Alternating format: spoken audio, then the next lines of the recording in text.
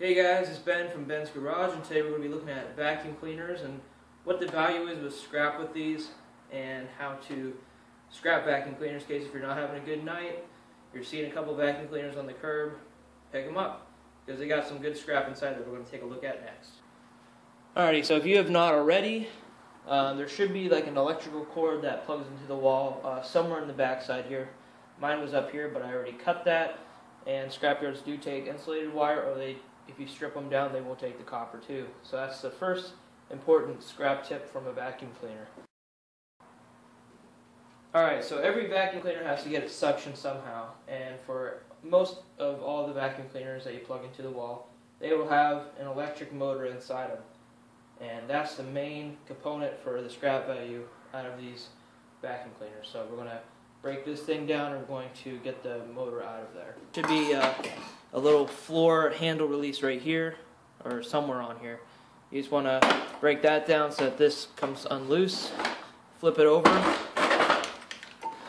and then just get a get your foot or uh, something like a sledgehammer or something and just kick or apply pressure right here.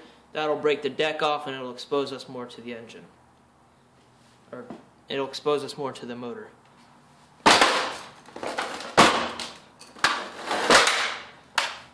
Some of them will have the safety square screws, but in this case we're actually lucky that this one has Phillips heads. So we're just going to take them off with the Phillips heads because I'm cleaning up the garage today. Or I'm not going to make a mess. Or you know what? Let's just break it with a hammer or whatever you got.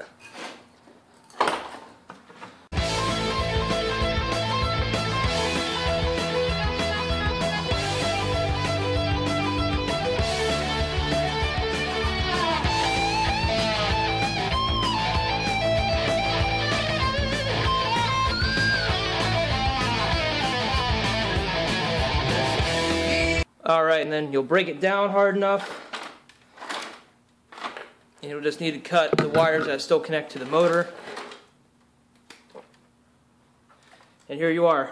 Got yourself an electric motor. I don't know how much they weigh, but I know I get probably 10 of these rounded up for my pile, and I get about uh, 18 to $20 with them. So they definitely add up. And uh, you can also strip them down, unwind them on the inside there. See if I can focus it.